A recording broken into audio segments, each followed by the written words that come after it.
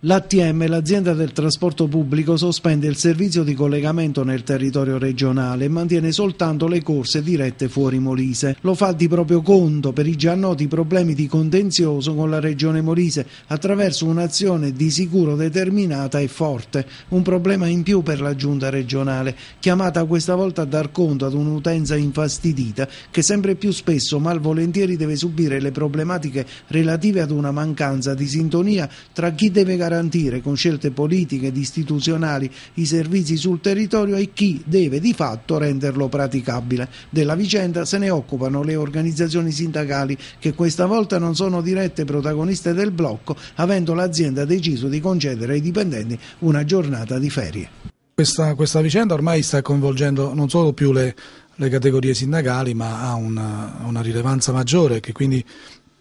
assume un rilievo confederale, eh, in quanto con sindacati confederali adesso ci stiamo occupando, oltre che dei lavoratori,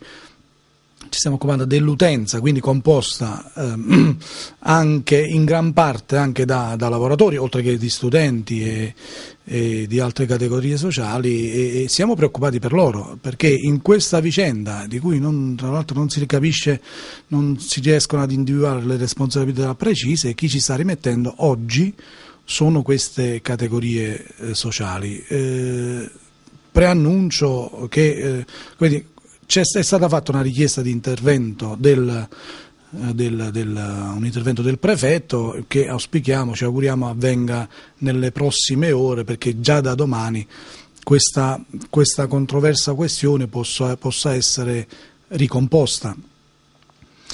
È evidente che sono gli utenti a pagarne gli effetti, gli effetti negativi di questa, di questa vicenda e Oggi noi siamo interessati a ricomporla, cioè fare in modo che almeno ATM e che gestisce buona parte dei chilometri della rete regionale e la regione comincino a guardarsi almeno a parlare e, e, e trovare una soluzione.